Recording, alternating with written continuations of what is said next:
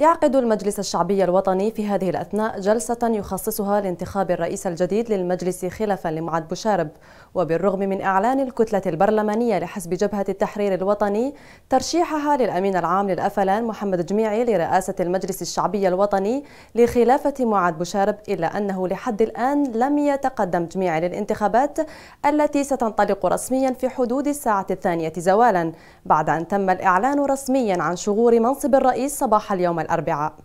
المترشحين لرئاسة المجلس الشعبي الوطني التي قدمت ملفها لدى مكتب المجلس هم عبد الحميد سي عفيف عن جبهة التحرير الوطني سليمان شنين عن جبهة العدالة والتنمية هلالي محمد عن كتلة الأحرار نور الدين بالمداح كمترشح حر مصطفى أبو علاق عن جبهة التحرير الوطني الأخضر سيدي عثمان عن التجمع الوطني الديمقراطي وبن عولة هواري عن حركة الوفاق الوطني.